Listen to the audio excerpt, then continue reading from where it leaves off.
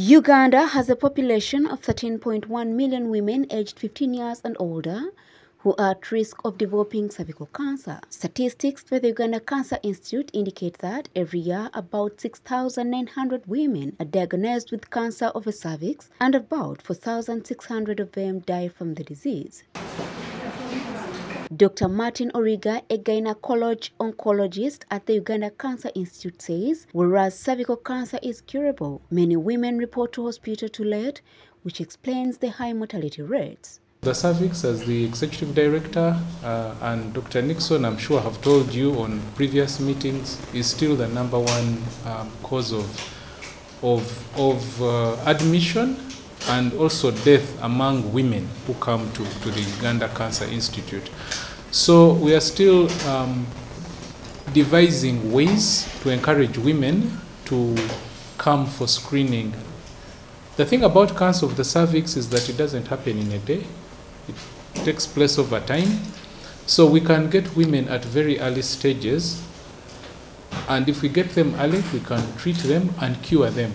Whereas the Ministry of Health rolled out massive HPV vaccination for girls below 15 years to reduce their risk of suffering from cervical cancer, the uptake of this vaccine has been very low. If you can vaccinate the young girls before they are sexually active, you can actually give them protection for so many years.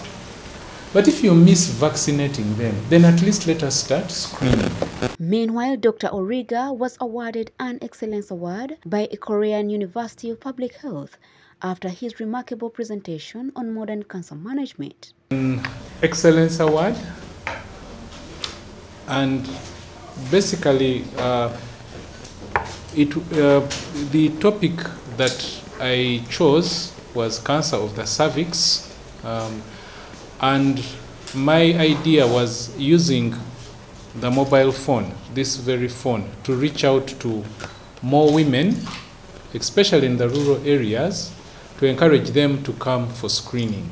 Dr. Jackson Orem, the director of the Uganda Cancer Institute, says the facility will make use of expertise acquired by the two Uganda Cancer Institute personnel, further train other personnel to help improve on cancer treatment and management at the facility to work with um, different partners uh, to develop our capacity.